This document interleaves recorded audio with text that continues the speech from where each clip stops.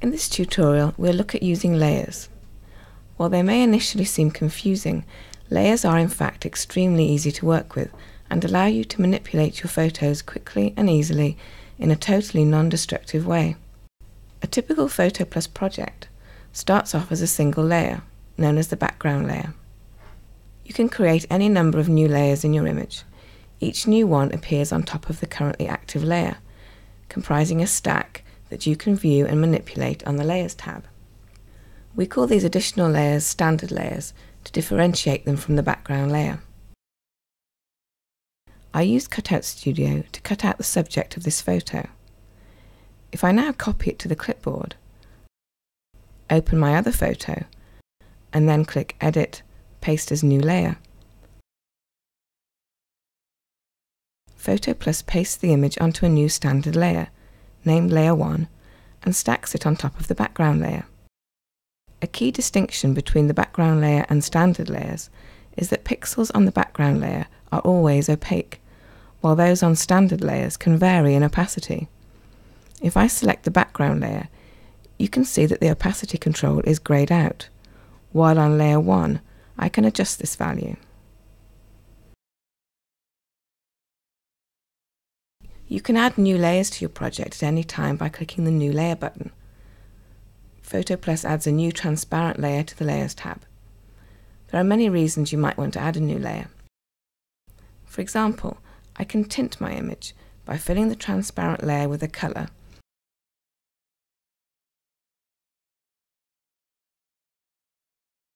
and then changing the layer blend mode to colour.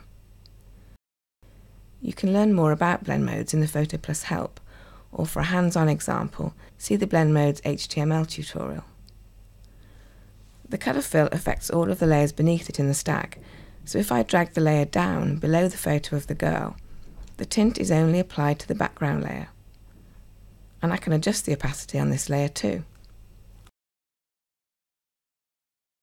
Okay, let's move on to image adjustments and effects. I'll select the background layer and apply a curves adjustment from the Adjustments tab.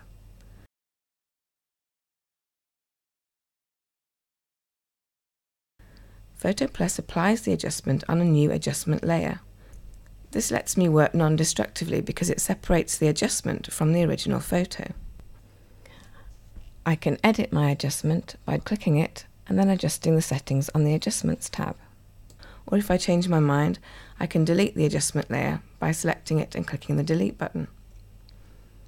The eye icon at the left of each layer on the Layers tab lets you hide and display layers. So I can hide this adjustment layer and see my photo with and without the adjustment applied. Let's now move on to filter layers. I'll open a different photo to demonstrate this.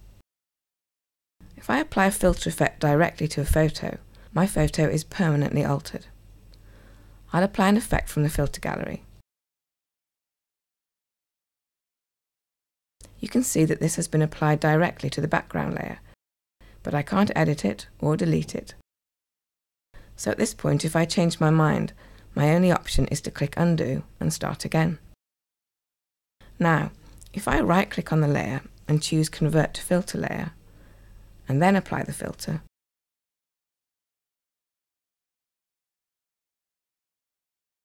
filter is added as a separate layer inside a filter group, so I can keep my image here intact, while also being able to hide and redisplay the filter. To edit the filter, I just double click it, and if I want to remove it altogether, I just right click and choose delete. You can apply as many filters as you like to the same filter group. Let's apply another one now from the effects menu.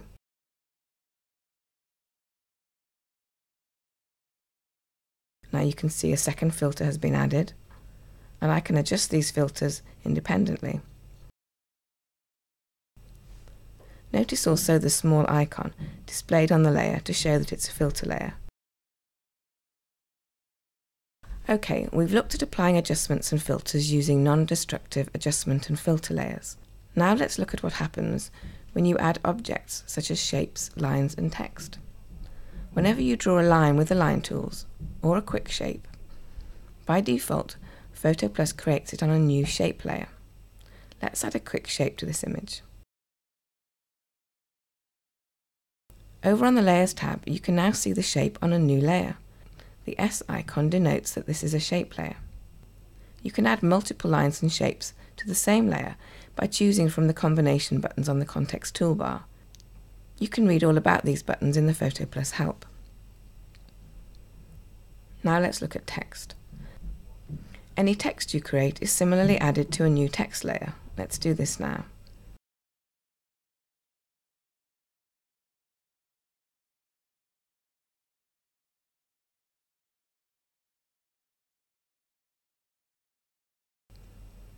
You can use the Move tool and other tools and commands to manipulate objects on your shape and text layers, just as you would on any other layer.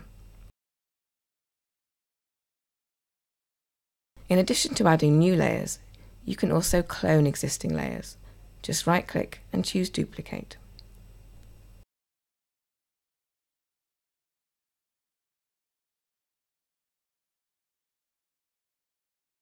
You can also create layer groups.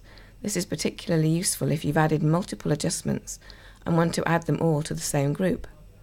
To create a layer group, select the layers and then right click and choose Group Layers. Or you can create the group first by clicking this button and then drag the layers onto it.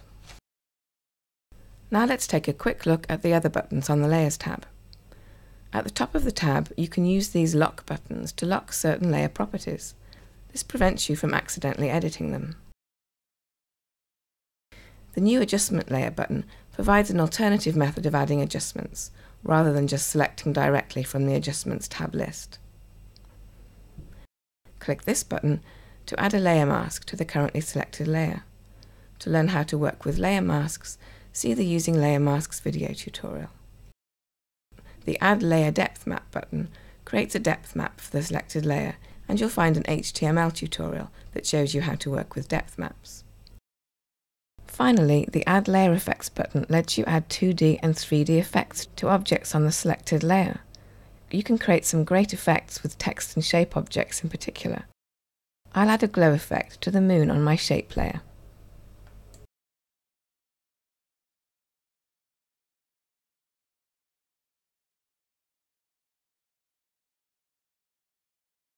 Well, that concludes this tutorial on layers. I hope you now have a better understanding of the various layer types and how you can use them in your own projects.